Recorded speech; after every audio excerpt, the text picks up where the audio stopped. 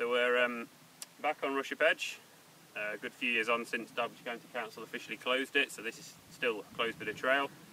Uh, when they got halfway through doing the job, so all what looks like railway ballast on the floor here.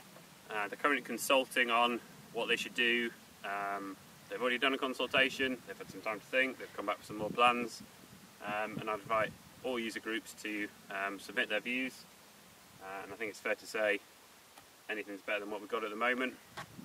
But yeah, lots of nice bits of bedrock. Don't really see why they shouldn't stay. So when I say anything's better than what we've got, what I mean by that is at the moment it's closed, it's not really safe to use, the repairs they've done so far are wholeheartedly inappropriate, and uh, yeah, it's a bit of a mess.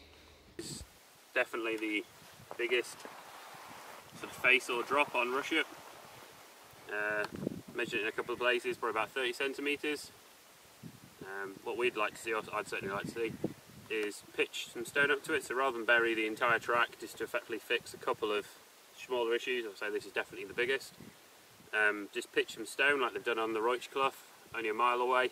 Um, so rather than being a drop, you've got a number of larger rocks kind of slabbing up to it. So you still kind of get rolling over some nice natural rock, but there's no lips, there's no drops.